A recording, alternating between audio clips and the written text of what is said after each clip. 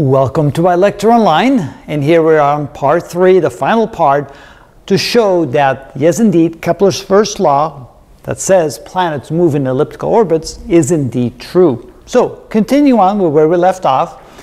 We had the equation of gravity, the force of gravity being equal to minus gm big M over r squared, which is from the universal equation of gravity.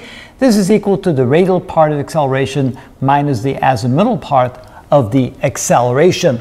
And then we realized that from the previous video that this could be replaced by that, and this could be replaced by that. So now we have omega squared equal to this quantity right here, and we have the second derivative of our respective time equal to this quantity right here. And it probably should put a bracket around it like that so you can see the comparison. Now, if we simplify that, because we remember that uh, this can be simplified to this, and this can be simplified to that. Now we wrote it in a very specific way. And why did we do it like this? Because notice we wrote this as u times u squared instead of just u cubed. Why did we do that? Because notice that the first part of the first term, minus L squared over M, times u squared is the same as L squared over M times u squared, and that the first term is multiplied by the second derivative of u with respect to theta, and the second term is multiplied by u. So if we factor out the minus L squared over m times u squared, we end up with this times the second derivative of u with respect to theta squared, or the second derivative of u with respect to theta plus u. All right, why did we do that?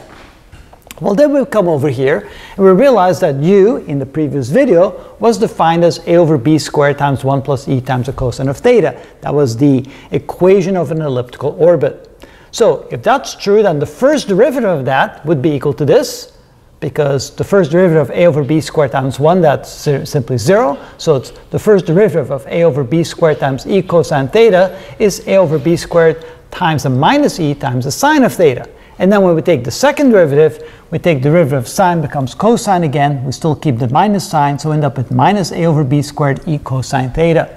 So what we're going to do then is we're going to substitute that into the equation over here. And we did that, so we write d squared u d theta squared of the second derivative of u with respect to theta. Well, that's going to be equal to minus a over b squared times e cosine theta plus u. u is equal to this. And then when we combine the two, notice we have a negative a over b squared. I forgot the square right there times e cosine theta plus a over b squared times e cosine theta. So they cancel out and we're simply left with a over b squared times 1 or a over b squared. So that means that this quantity right here can be replaced by a over b squared. So this quantity right here is a over b squared, which means that this can be written as this times a over b squared, which we did right over here.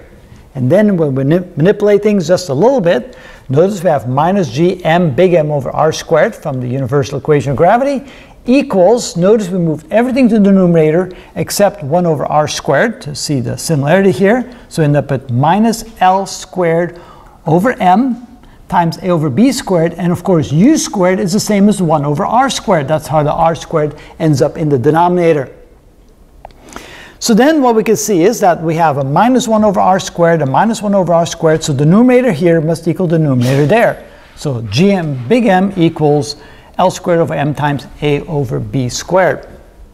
If I solve that for a over b squared, which is equal to this, and then I plug that into my equation right here, a over b squared can be replaced by this.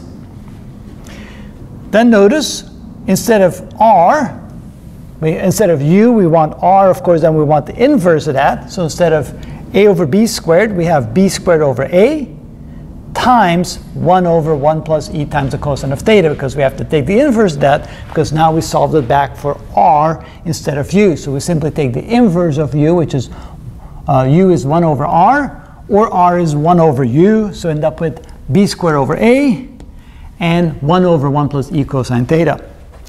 And then, of course, we realize that b squared over a essentially is equal to the inverse of that, so L squared over g m squared over m. And now let's take a look at this quantity right here. Remember, we had the equation of an ellipse defined right here. So it's 1 plus e cosine theta, where e is the eccentricity, theta is the angle in the orbit that we're at. And a over b squared, of course, that's the semi-major axis and semi-minor axis, which are constants. But then look over here, we know that the angular momentum is a constant as well. G is a constant, small m is a constant, the mass of the planet, and big M, the mass of the sun, is a constant. So this whole thing here is a constant times 1 over 1 plus e cosine theta, which is the equation for the radius, the distance from the sun to the planet, as a function of theta. Realizing that this is the equation of an ellipse, we then show that when we replace all the aspects in such a way that instead of writing a over b squared, we write the specifics of the angular momentum of the planet, g, the mass of the planet, mass of the sun, we still have a constant times this, which makes this into an elliptical equation, which means that, yes indeed, Kepler was right, the planets do move in ellipses.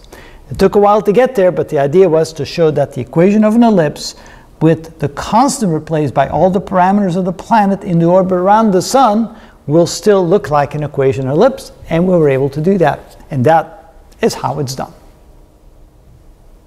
You fell asleep. it must be boring.